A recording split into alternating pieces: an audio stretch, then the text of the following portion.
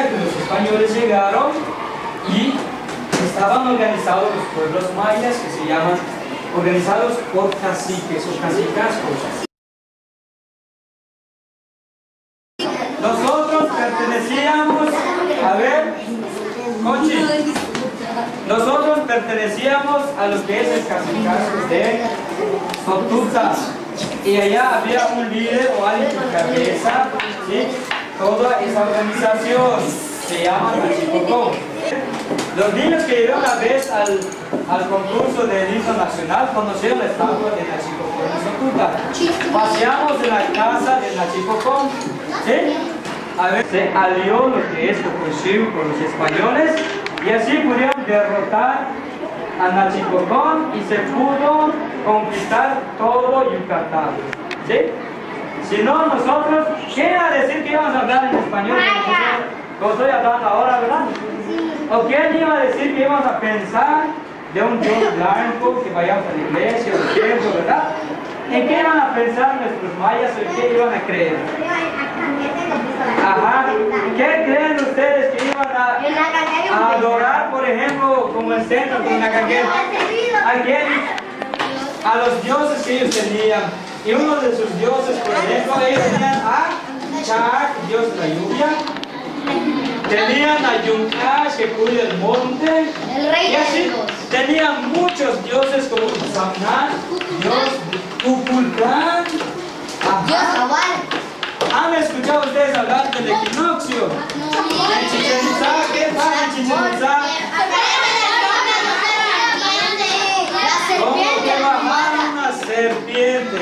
Pero en realidad baja.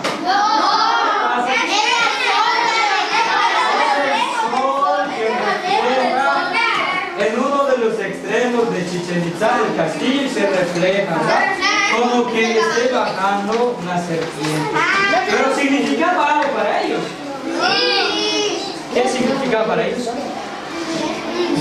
Según ellos, ellos observaban y decían que en esa época, cuando desciende Cuculcán, hay un cambio de... Hay un cambio de estación del año. ¿Ellos con qué veían el cambio de estación? Con sus calendarios, con telescopios. Con la bajada de la serpiente les indica que hay un cambio, ¿verdad? Que el sol ya ajá, cambió de posición, ya va a empezar el calor, ¿verdad? Cuando vuelva a pasar, ¿qué, qué sucede? Va a empezar de nuevo el frío, ¿no? Entonces, ¿quién me puede decir que a pesar de todo lo que les enseño, Maya no sirve? Entonces, ¿por qué hay niños que no les gusta? Ajá. Hay mucho que aprender, ¿verdad?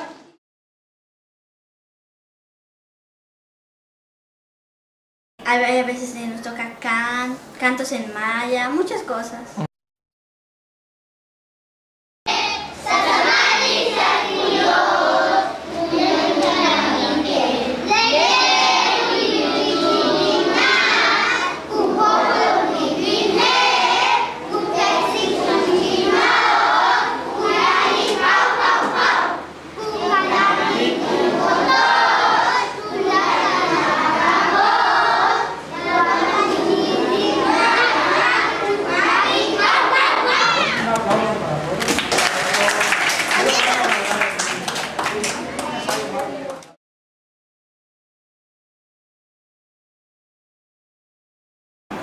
Más que nada cuando ellos están contentos con lo que, con lo que están haciendo, eh, se les facilita más aprender lo que, bueno, el objetivo.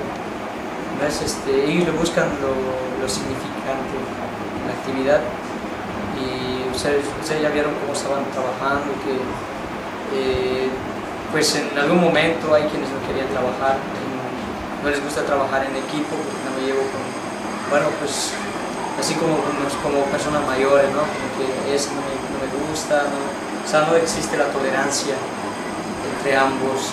Eh, nosotros queremos, o queremos que todos sean como nosotros queremos. Y a veces yo cuando utilizo lo que son las estrategias de trabajo en equipo, aprender eso, más que nada, tolerar a los demás, conocer a los demás, pensar que ellos son diferentes a nosotros. Entonces, este, junto con todo eso, eh, se vaya aprendiendo igual aprender a tener a generar ese conocimiento ya en, grupo. Un autor de, de, la UPN dice cómo está según Emilia Durkheim dice que el conocimiento no es solamente psicológico. Y algo parecido a lo que dice un, un ciclón dice que el conocimiento no es solamente, como dice Ausbeld, que solamente tiene que haber un conocimiento previo para que se genere algo significante. Ella dice que también primero se tiene que eh, interiorizar lo que son las estructuras para que se genere ese conocimiento. ¿Y cómo se interioriza eso? Pues eh, interactuando con, con, los demás en una sociedad. Principalmente yo en eso me baso para, para que los alumnos trabajen en equipo.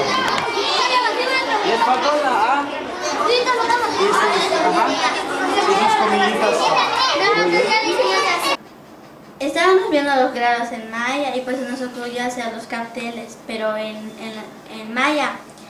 Y pues salimos, nosotros compramos las cosas, todo lo que íbamos a necesitar. Nosotros compramos la brillantina, el foamy, de todo compramos, todo lo que se veía necesario para servirnos. Después el maestro nos dio las letras y lo adornamos. Y si se puede, miren, ya los pueden correr aquí porque se secan.